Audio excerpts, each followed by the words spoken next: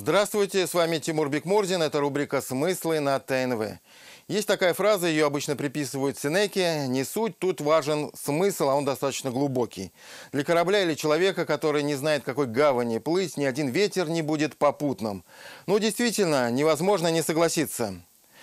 В нашей обычной жизни, в бизнесе или где-то еще это проявляется постоянно. Более того, это верно и в случае государственной политики, государственной стратегии, скажем, в области научной деятельности. Есть такое понятие «национальные научно-технологические приоритеты». Давайте зададим себе честный вопрос. Хорошо ли мы представляем и понимаем, что это за приоритеты в масштабах страны? Ответ почти риторический.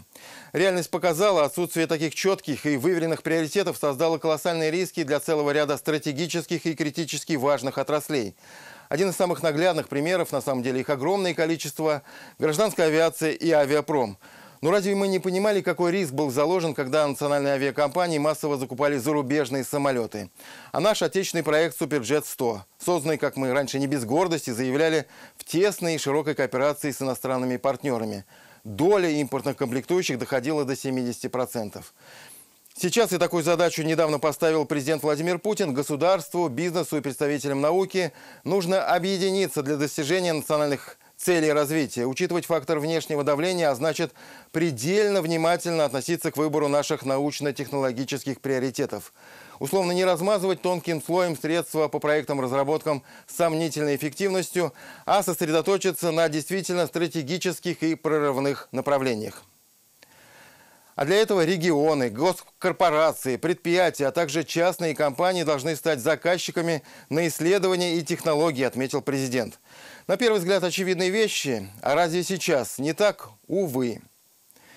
И тут поймите правильно, никто не ставит под сомнение компетентность наших ученых, их возможности делать открытия, генерировать идеи и так далее. Вопрос даже не в коммерциализации их проектов – Дело в том, что они изначально не всегда, скажем так, ориентированы на реальный сектор, на тот самый практический результат.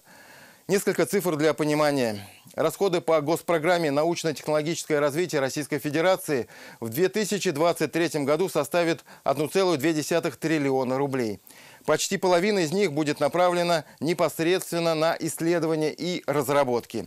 Так вот, как отметил министр финансов Антон Силуанов, государство участвует в процессе на две трети и только на одну треть бизнес. Ничего не меняется, хотя и налоговые стимулы есть, сокрушался министр.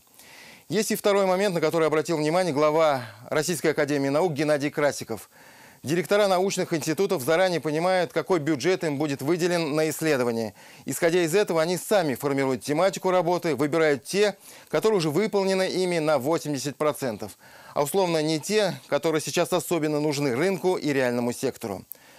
Что с этим совсем делать? Ответы у правительства есть. Нужна, во-первых, экспертиза и ревизия экспертных советов. Нужно уйти от дублирования финансирования одних и тех же проектов, которые потом поставят на полку. Продолжая ассоциативный ряд, очень понравилось, как выразился вице-премьер Дмитрий Чернышенко. Важно обеспечить востребованность научных результатов. Тут принцип горячей картошки, когда разработка должна быть передана дальше, а не положена на полку в виде статьи. Сказано отлично, осталось воплотить все в реальность. Время не ждет. Это была рубрика «Смыслы» на ТНВ.